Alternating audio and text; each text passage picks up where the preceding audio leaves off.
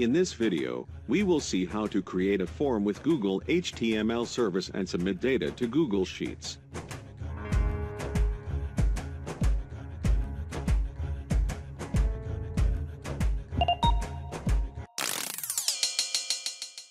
First, create a new Google Sheet on your Google Drive and add column labels. Then, open the script editor from Tools, Script Editor in your Google Sheet. Third, add an HTML file to your app script project. Name this file Index. Within the HTML file, you can write most standard HTML, CSS, and client-side JavaScript. The page will be served as HTML5. To write the code for the HTML form, we use the Bootstrap framework. It contains CSS and JavaScript-based design templates for typography, forms, buttons, navigation, and other interface components. We start by adding styles to the form. Click Introduction. Scroll down. Then copy-paste the style sheet link into your head before all other style sheets to load the CSS. Here is the form we are going to create. And this is the code. The form tag is used to create an HTML form for user input. Its ID is MyForm. The first two input fields allow the user to enter the first and last name.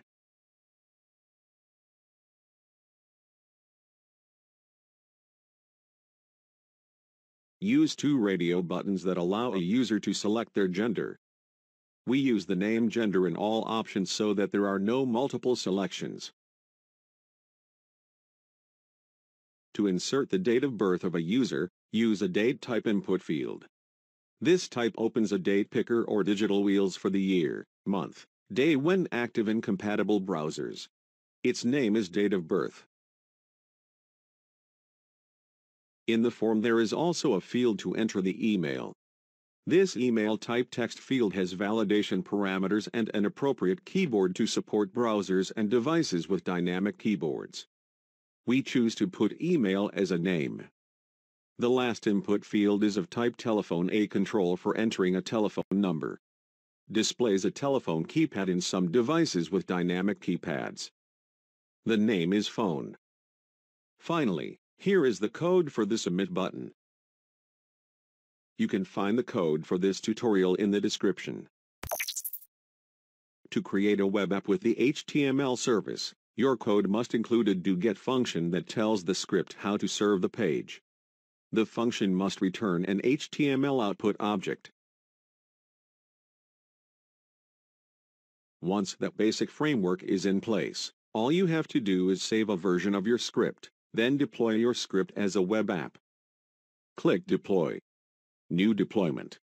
Next to Select Type, click Enable Deployment Types. Web App.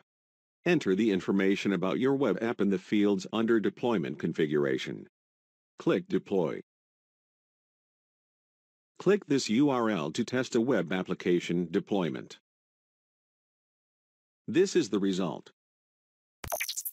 Now, we are going to send the form data to the Google Sheet. Create a new HTML file and name it JavaScript. In this file, we are going to write JavaScript code that will be included later in the index.html file. We are going to write a function called handleFormSubmit. Google Script Run is an asynchronous client-side JavaScript API that we will use to call the server-side function process form once the submit button is clicked.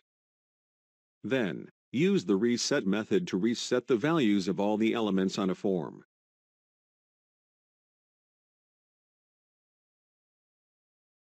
Now, add the following line to the head section of the index.html file.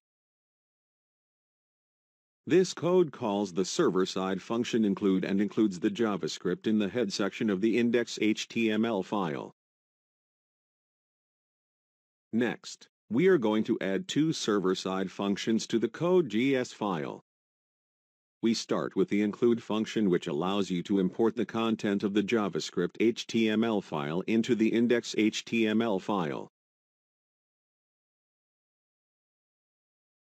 The second function called Process Form allows you to add the data entered by the user in the Google spreadsheet. First, we write the code that opens the spreadsheet using its URL. Copy the URL of your spreadsheet. Paste here. Note that the spreadsheet is not physically opened on the client side. It is opened on the server only.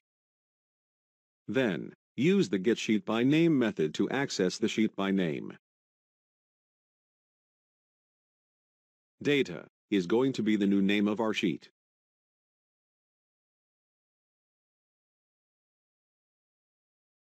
Finally, use the append row method of the sheet object to write a single row of data to the spreadsheet.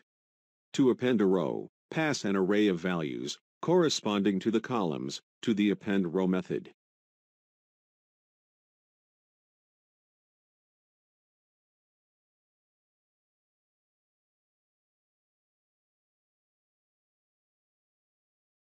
Save.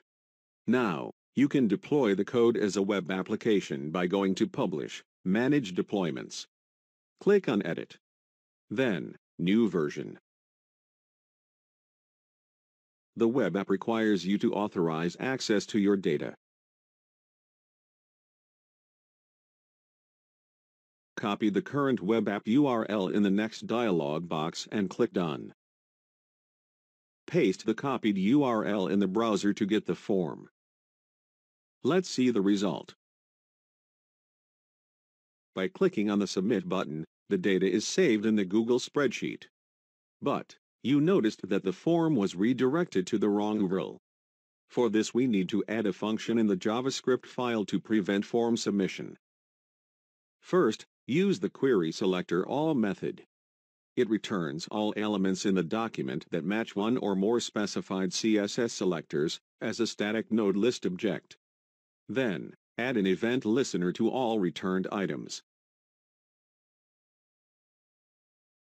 The prevent default method cancels the event if it is cancelable, meaning that the default action that belongs to the event will not occur.